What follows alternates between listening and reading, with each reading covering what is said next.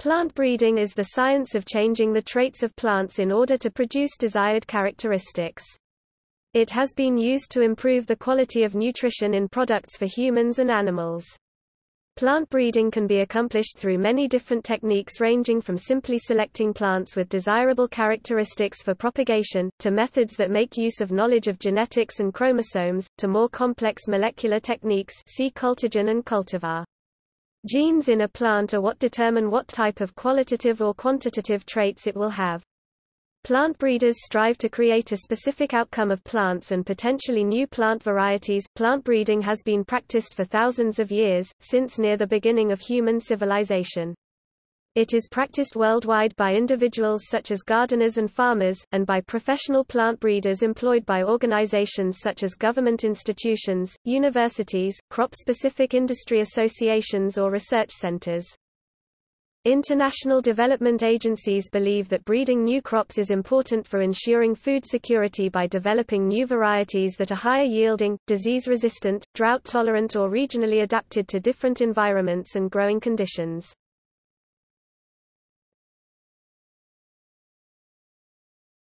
Topic: History. Plant breeding started with sedentary agriculture and particularly the domestication of the first agricultural plants, a practice which is estimated to date back 9,000 to 11,000 years. Initially early farmers simply selected food plants with particular desirable characteristics, and employed these as progenitors for subsequent generations, resulting in an accumulation of valuable traits over time. Grafting technology had been practiced in China before 2000 BCE by 500 BCE grafting was well established and practiced. Gregor Mendel (1822–84) is considered the father of genetics. His experiments with plant hybridization led to his establishing laws of inheritance. Genetics stimulated research to improve crop production through plant breeding. Modern plant breeding is applied genetics, but its scientific basis is broader, covering molecular biology, cytology, systematics, physiology, pathology, entomology, chemistry, and statistics biometrics. It has also developed its own technology.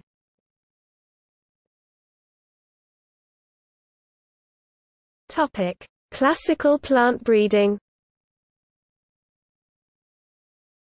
One major technique of plant breeding is selection, the process of selectively propagating plants with desirable characteristics and eliminating or culling those with less desirable characteristics. Another technique is the deliberate interbreeding crossing of closely or distantly related individuals to produce new crop varieties or lines with desirable properties. Plants are crossbred to introduce traits, genes from one variety or line into a new genetic background. For example, a mildew-resistant pea may be crossed with a high-yielding but susceptible pea, the goal of the cross being to introduce mildew resistance without losing the high-yield characteristics. Progeny from the cross would then be crossed with the high-yielding parent to ensure that the progeny were most like the high-yielding parent, backcrossing. The progeny from that cross would then be tested for yield selection, as described above and mildew resistance and high-yielding resistant plants would be further developed. Plants may also be crossed with themselves to produce inbred varieties for breeding. Pollinators may be excluded through the use of pollination bags. Classical breeding relies largely on homologous recombination between chromosomes to generate genetic diversity. The classical plant breeder may also make use of a number of in vitro techniques such as protoplast fusion, embryo rescue or mutagenesis see below to generate diversity and produce hybrid plants that would not exist in nature.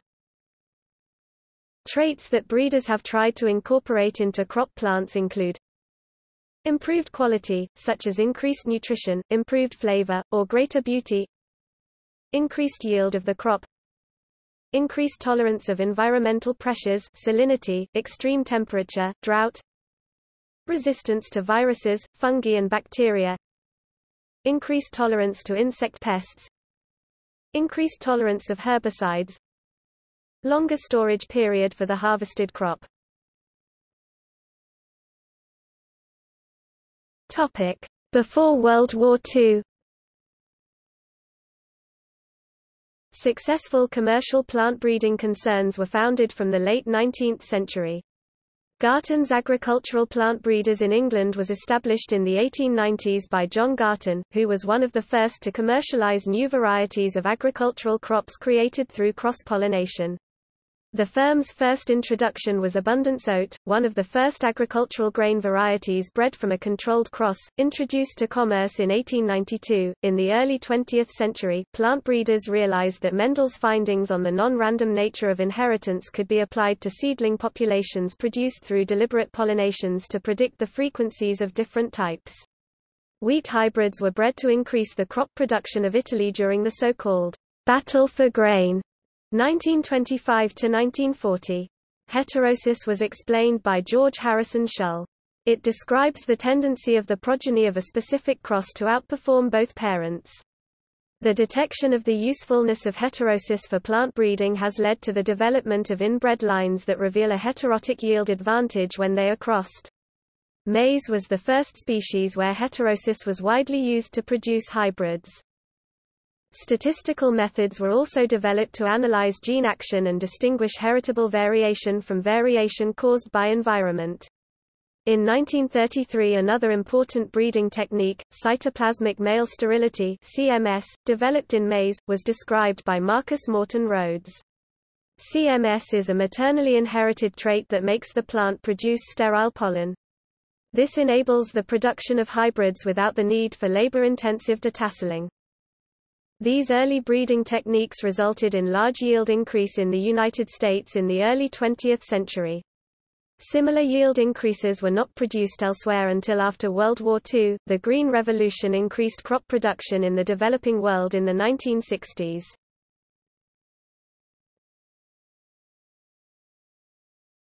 Topic: After World War II Following World War II a number of techniques were developed that allowed plant breeders to hybridize distantly related species, and artificially induce genetic diversity. When distantly related species are crossed, plant breeders make use of a number of plant tissue culture techniques to produce progeny from otherwise fruitless mating. Interspecific and intergeneric hybrids are produced from a cross of related species or genera that do not normally sexually reproduce with each other. These crosses are referred to as wide crosses. For example, the cereal triticale is a wheat and rye hybrid. The cells in the plants derived from the first generation created from the cross contained an uneven number of chromosomes and as a result was sterile. The cell division inhibitor colchicine was used to double the number of chromosomes in the cell and thus allow the production of a fertile line. Failure to produce a hybrid may be due to pre- or post-fertilization incompatibility. If fertilization is possible between two species or genera, the hybrid embryo may abort before maturation. If this does occur the embryo resulting from an interspecific or intergeneric cross can sometimes be rescued and cultured to produce a whole plant. Such a method is referred to as embryo rescue. This technique has been used to produce new rice for Africa, an interspecific cross of Asian rice sativa and African rice glaberrima. Hybrids may also be produced by a technique called protoplast fusion. In this case protoplasts are fused, usually in an electric field. Viable recombinants can be regenerated in culture. Chemical mutagens like EMS and DMS, radiation and transposons are used to generate mutants with desirable traits to be bred with other cultivars, a process known as mutation breeding. Classical plant breeders also generate genetic diversity within a species by exploiting a process called somaclonal variation, which occurs in plants produced from tissue culture, particularly plants derived from callus. Induced polyploidy, and the addition or removal of chromosomes using a technique called chromosome engineering may also be used. When a desirable trait has been bred into a species, a number of crosses to the favored parent are made to make the new plant as similar to the favored parent as possible. Returning to the example of the mildew-resistant pea being crossed with a high-yielding but susceptible pea, to make the mildew-resistant progeny of the cross most like the high-yielding parent, the progeny will be crossed back to that parent for several generations see backcrossing. This process removes most of the genetic contribution of the mildew-resistant parent. Classical breeding is therefore a cyclical process. With classical breeding techniques, the breeder does not know exactly what genes have been introduced to the new cultivars. Some scientists therefore argue that plants produced by classical breeding methods should undergo the same safety testing regime as genetically modified plants. There have been instances where plants bred using classical techniques have been unsuitable for human consumption, for example the poison solanine was unintentionally increased to unacceptable levels in certain varieties of potato through plant breeding. New potato varieties are often screened for solanine levels before reaching the marketplace.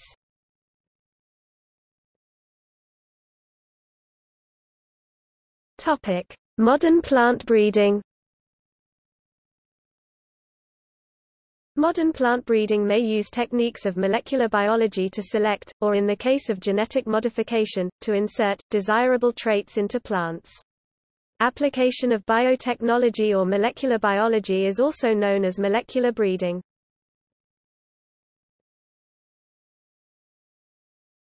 Topic: Marker-assisted selection. Sometimes many different genes can influence a desirable trait in plant breeding. The use of tools such as molecular markers or DNA fingerprinting can map thousands of genes. This allows plant breeders to screen large populations of plants for those that possess the trait of interest. The screening is based on the presence or absence of a certain gene as determined by laboratory procedures, rather than on the visual identification of the expressed trait in the plant. The purpose of marker-assisted selection, or plant genomes analysis, is to identify the location and function phenotype of various genes within the genome. If all of the genes are identified it leads to genome sequence. All plants have varying sizes and lengths of genomes with genes that code for different proteins, but many are also the same. If a gene's location and function is identified in one plant species, a very similar gene likely can also be found in a similar location in another species' genome.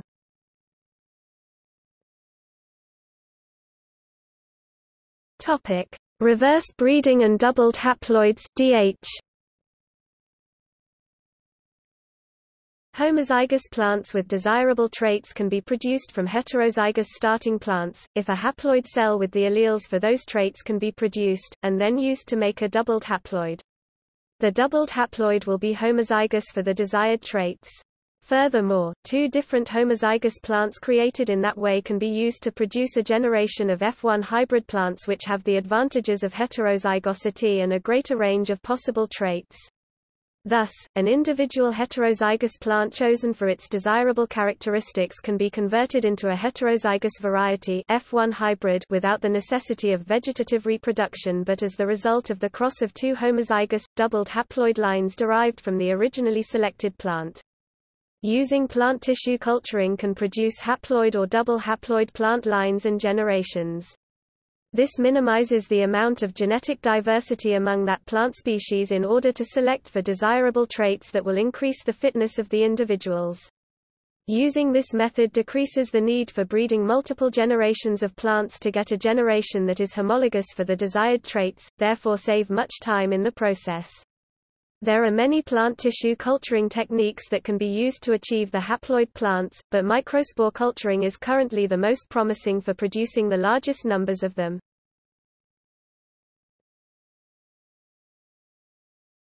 Topic: Genetic modification. Genetic modification of plants is achieved by adding a specific gene or genes to a plant, or by knocking down a gene with RNAi, to produce a desirable phenotype. The plants resulting from adding a gene are often referred to as transgenic plants. If for genetic modification genes of the species or of a crossable plant are used under control of their native promoter, then they are called cisgenic plants. Sometimes genetic modification can produce a plant with the desired trait or traits faster than classical breeding because the majority of the plant's genome is not altered. To genetically modify a plant, a genetic construct must be designed so that the gene to be added or removed will be expressed by the plant. To do this, a promoter to drive transcription and a termination sequence to stop transcription of the new gene, and the gene or genes of interest must be introduced to the plant. A marker for the selection of transformed plants is also included. In the laboratory, antibiotic resistance is a commonly used marker. Plants that have been successfully transformed will grow on media containing antibiotics, plants that have not been transformed will die. In some instances markers for selection are removed by backcrossing with the parent plant prior to commercial release. The construct can be inserted in the plant genome by genetic recombination using the bacteria Agrobacterium tumefaciens or A. rhizogenes, or by direct methods like the gene gun or microinjection. Using plant viruses to insert genetic constructs into plants is also a possibility, but the technique is limited by the host range of the virus.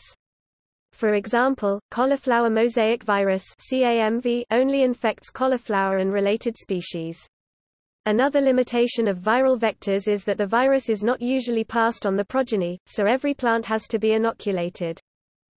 The majority of commercially released transgenic plants are currently limited to plants that have introduced resistance to insect pests and herbicides.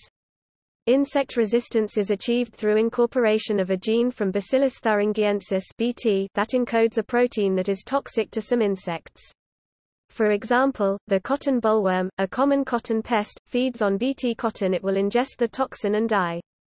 Herbicides usually work by binding to certain plant enzymes and inhibiting their action.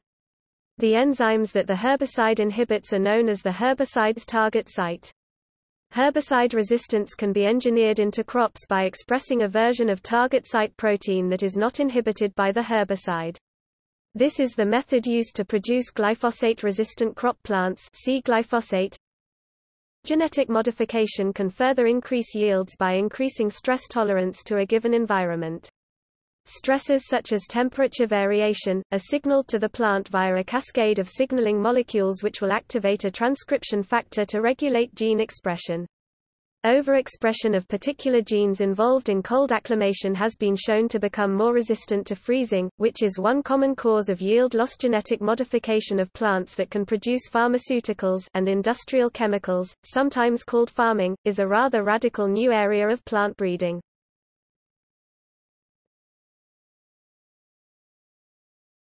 Topic: Issues and concerns.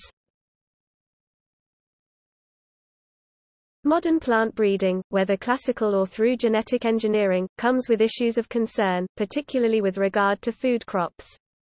The question of whether breeding can have a negative effect on nutritional value is central in this respect.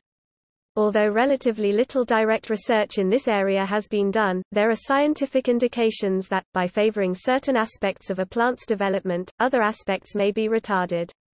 A study published in the Journal of the American College of Nutrition in 2004, entitled Changes in USDA Food Composition Data for 43 Garden Crops, 1950 to 1999, compared nutritional analysis of vegetables done in 1950 and in 1999, and found substantial decreases in 6 of 13 nutrients measured, including 6% of protein and 38% of riboflavin.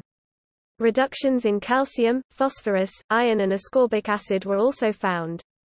The study, conducted at the Biochemical Institute, University of Texas at Austin, concluded in summary, we suggest that any real declines are generally most easily explained by changes in cultivated varieties between 1950 and 1999, in which there may be trade-offs between yield and nutrient content.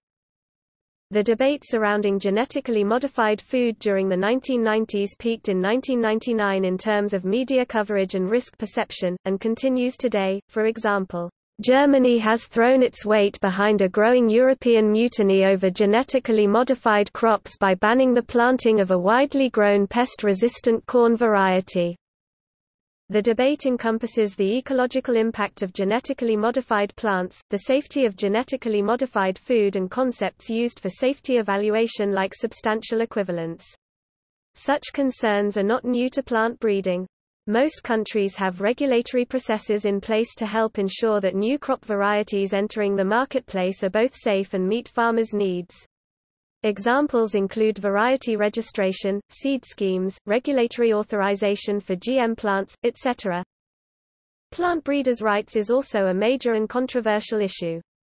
Today, production of new varieties is dominated by commercial plant breeders, who seek to protect their work and collect royalties through national and international agreements based in intellectual property rights. The range of related issues is complex.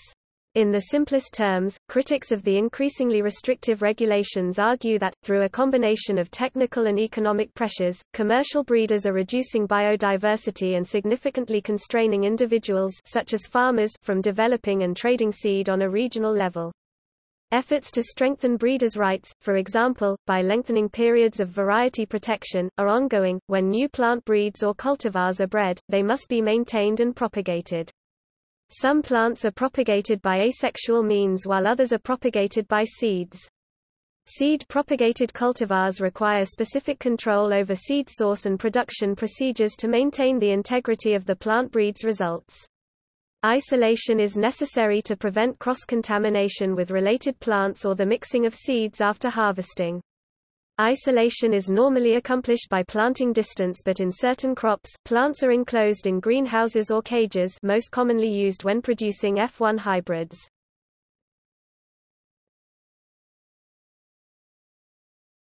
Topic: Role of plant breeding in organic agriculture. Critics of organic agriculture claim it is too low yielding to be a viable alternative to conventional agriculture. However, part of that poor performance may be the result of growing poorly adapted varieties. It is estimated that over 95% of organic agriculture is based on conventionally adapted varieties, even though the production environments found in organic versus conventional farming systems are vastly different due to their distinctive management practices.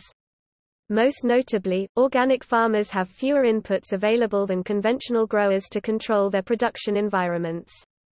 Breeding varieties specifically adapted to the unique conditions of organic agriculture is critical for this sector to realize its full potential.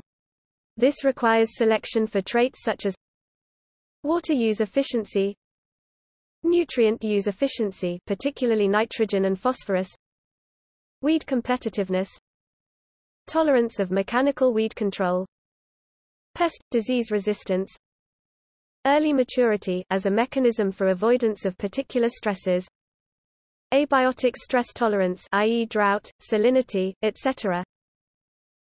Currently, few breeding programs are directed at organic agriculture and until recently those that did address this sector have generally relied on indirect selection i.e. selection in conventional environments for traits considered important for organic agriculture.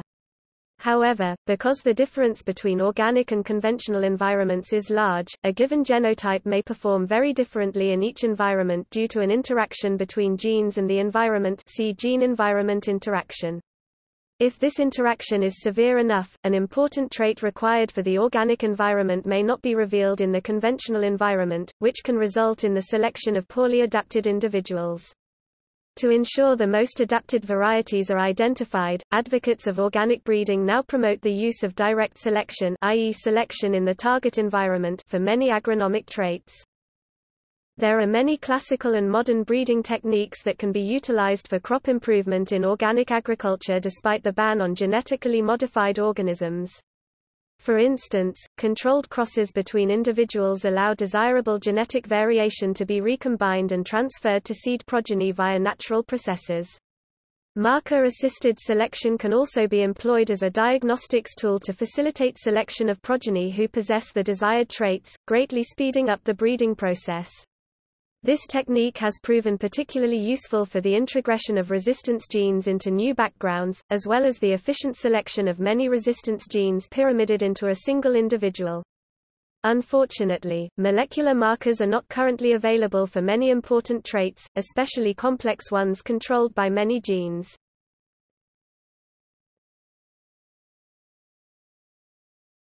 Topic: Addressing global food security through plant breeding.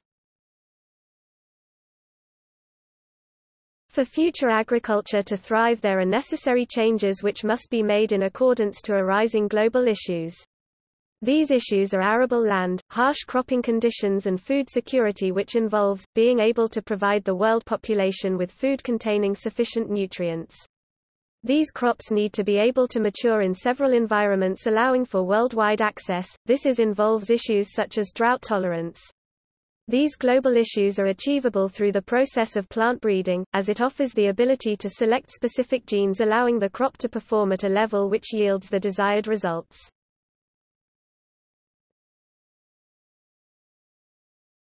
Topic: Increased yield without expansion.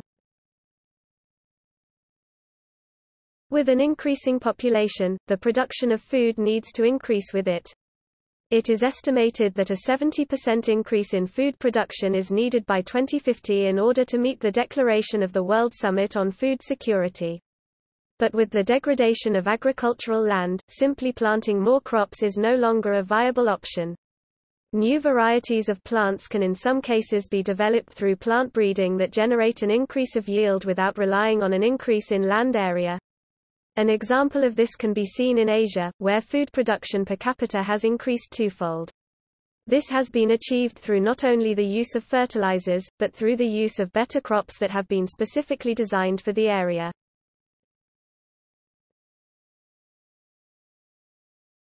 Topic: Breeding for increased nutritional value Plant breeding can contribute to global food security as it is a cost-effective tool for increasing nutritional value of forage and crops. Improvements in nutritional value for forage crops from the use of analytical chemistry and rumen fermentation technology have been recorded since 1960. This science and technology gave breeders the ability to screen thousands of samples within a small amount of time, meaning breeders could identify a high-performing hybrid quicker.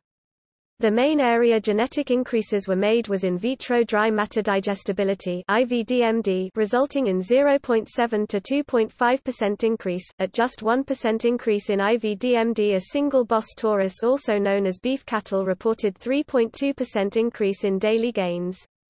This improvement indicates plant breeding is an essential tool in gearing future agriculture to perform at a more advanced level.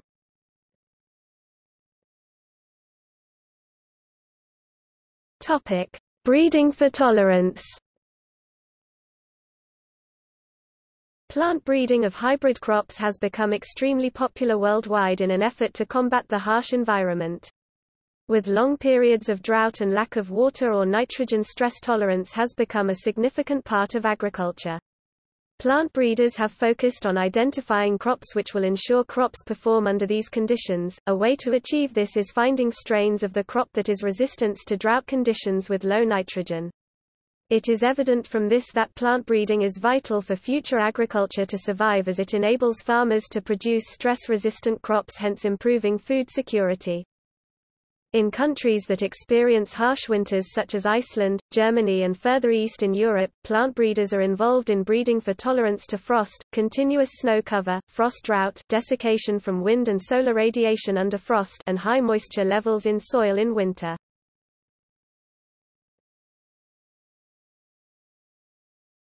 Topic: Participatory plant breeding. Participatory plant breeding is when farmers are involved in a crop improvement program with opportunities to make decisions and contribute to the research process at different stages. Participatory approaches to crop improvement can also be applied when plant biotechnologies are being used for crop improvement.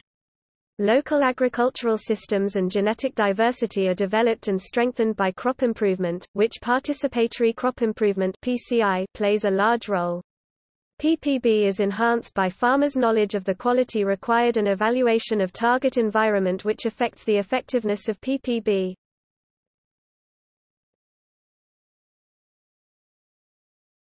Topic: List of notable plant breeders. Thomas Andrew Knight, Keith Downey, Luther Burbank, Nazareno Strampelli, Niels Ebbesen Hansen Norman Borlaug Topic: Terms related to plant breeding.